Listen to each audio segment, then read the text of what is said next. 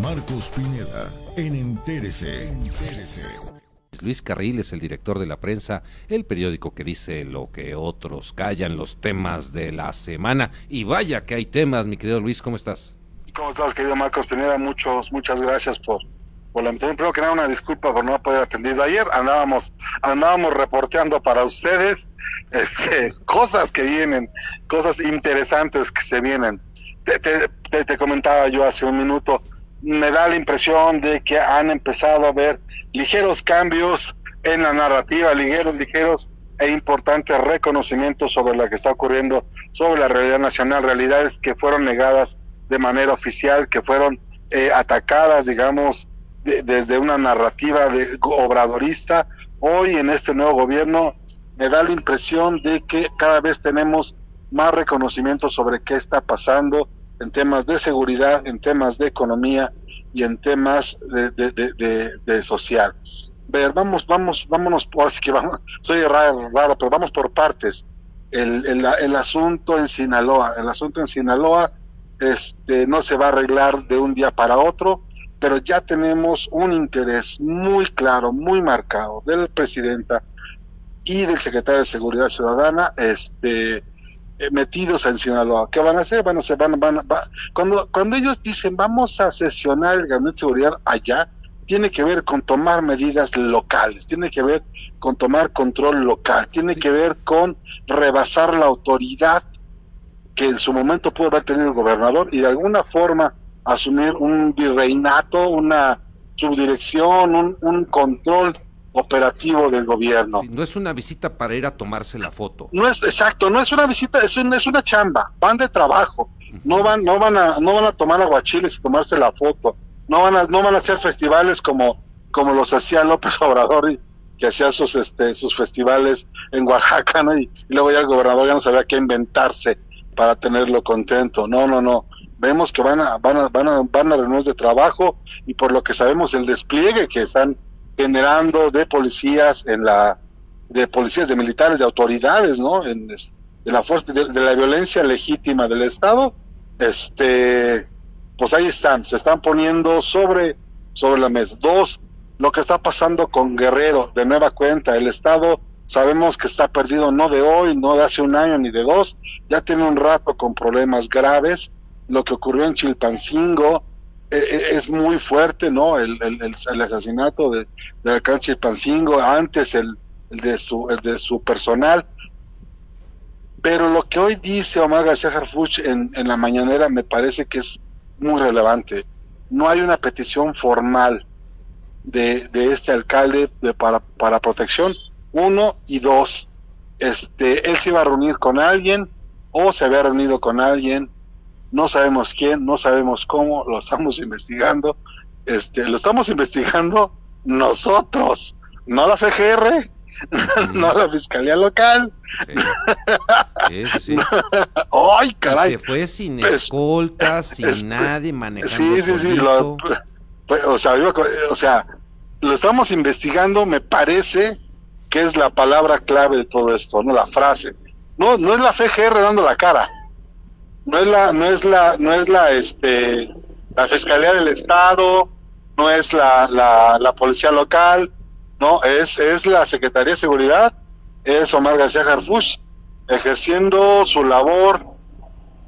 No sé si si rebasando sus límites pero sí en muchos sentidos este muy por muy muy muy lejos de lo que de lo que vimos en su momento, por ejemplo, con Rosa Isela, ¿no? Ahora, bien, eh, estoy de ah, acuerdo. Y es, la otra. que alguien podría decir, bueno, pero es que y la gobernador y tal. No, pues yo creo que para casos extremos se necesitan medidas extremas y esto, pero, lo está tomando en serio Harfush. Oye, hay una cosa aquí muy interesante. Hay un reconocimiento. Ya no es, no, es que las causas, la pobreza, el neoliberal. No, a ver, iba a reunirse con alguien, no sabemos con quién se reunió con alguien, no pidió apoyo y pues estas cosas pasan. ¿Qué te dice eso? Te dice pues lo que quieras. Es que esa reunión... Te dicen, más los silencios que las palabras. Sí. ¿No? Te dicen más los silencios que las palabras. No les, puedo, no, no les puedo decir a qué iba ni con quién porque no lo sabemos. Hay muchos elementos que estamos investigando. Hay muchas cosas que tenemos que saber después. hay mucha información que tenemos que deshebrar, pero por lo pronto lo que sabemos y lo que les puedo decir es, uno, iba a una reunión, dos, iba solo, tres, no pidió ayuda. Eso es muy importante porque es el reconocimiento de una realidad que se negó por seis años, bueno, cinco años y cachito, ¿no? Este, otra cosa, en economía, en economía estamos viendo que están dando pasos cautos, muy cautos en el manejo de las finanzas públicas.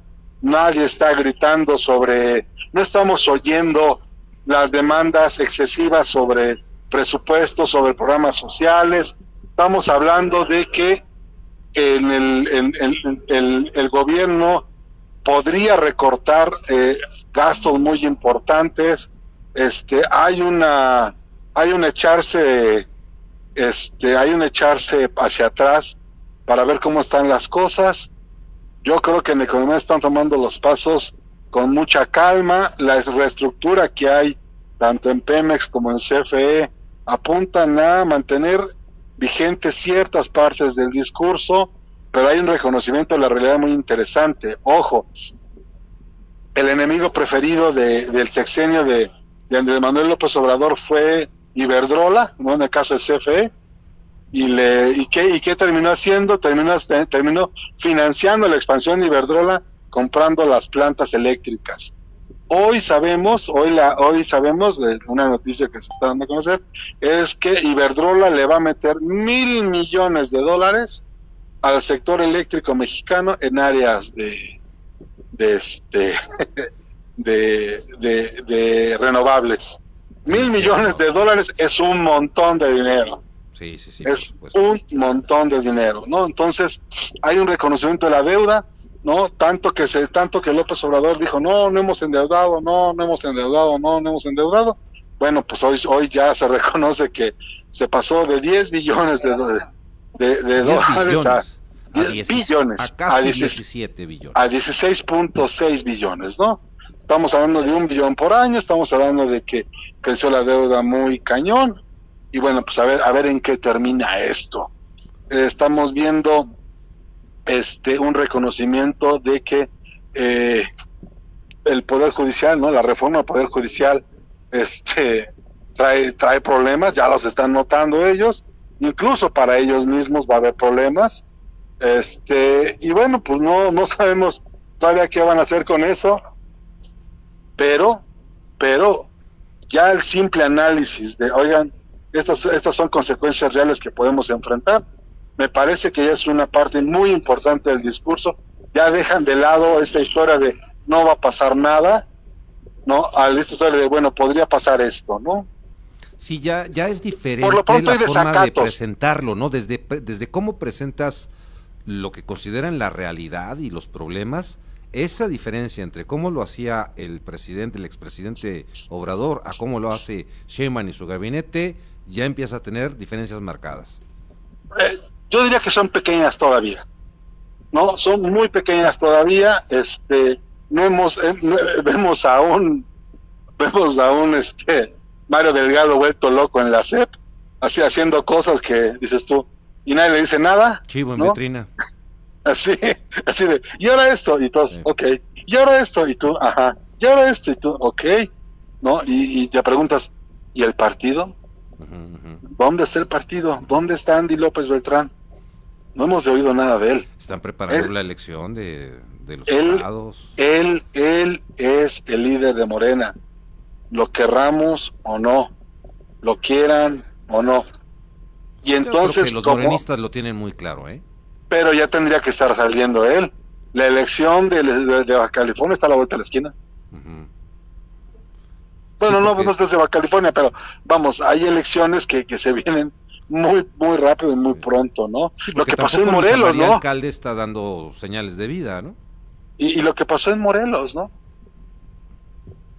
este este este manotazo, este manotazo en la mesa, uno diría, pero si este güey no lo movieron por tanto tiempo, eh, cómo fue que ocurrió esto en horas, ¿no? Es un, este, una, una, una, muestra de fuerza de la gobernadora, se acabó el poder para Cuauhtémoc, este cuate era intocable, intocable, y, y, la gobernadora lo movió en horas, Sí, ¿no? sí, sí, sí, sí. no, dejó que esto se extendiera, tomó una decisión tajante.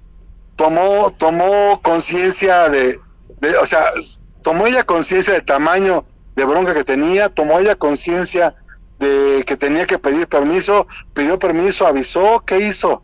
No sabemos todavía, pero lo que la decisión que tomó fue muy rápida y contraria a lo que había ocurrido todo el sexenio anterior, ¿no? O sea, estamos viendo ese tipo de situaciones. Y te pregunto, si, si tú ves que en Morel, ahora sí que cuando ves las, las, las barbas del vecino cortar, pon las tuyas a remojar, pues Rubén Rocha, ¿no? Así de, este, pues sí, vénganse a sesionar acá, por favor. No, hombre, no tiene ni, no sabe, o quién sabe, pues, si esté pensando ya o anticipando algo de lo que le espera, ¿eh? Oye, y tenemos una foto de Rubén Rocha con la, con la presidenta.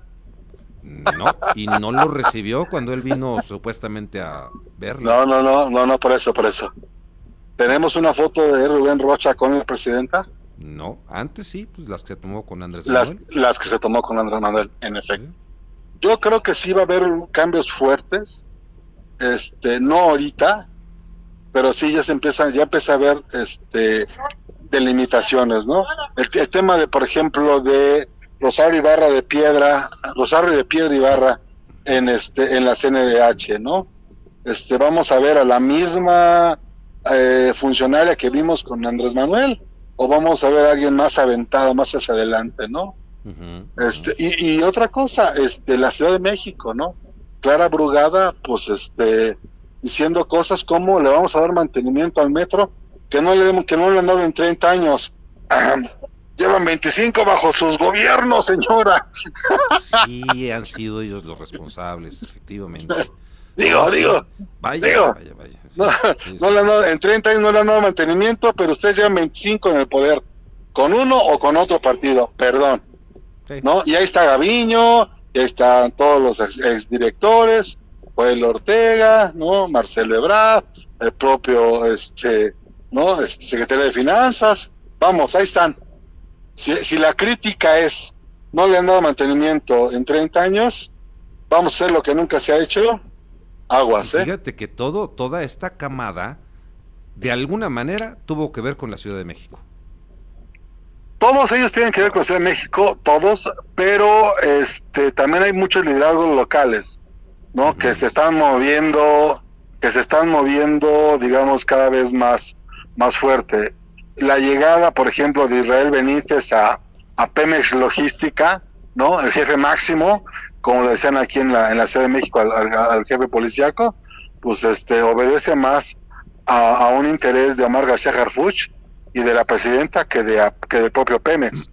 Estás llevando un policía a un tema de logística, ¿no?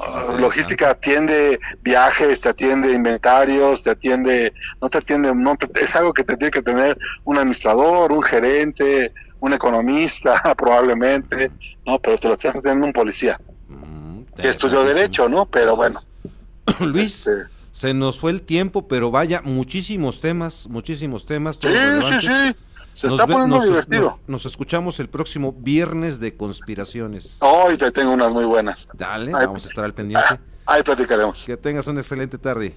Hasta luego.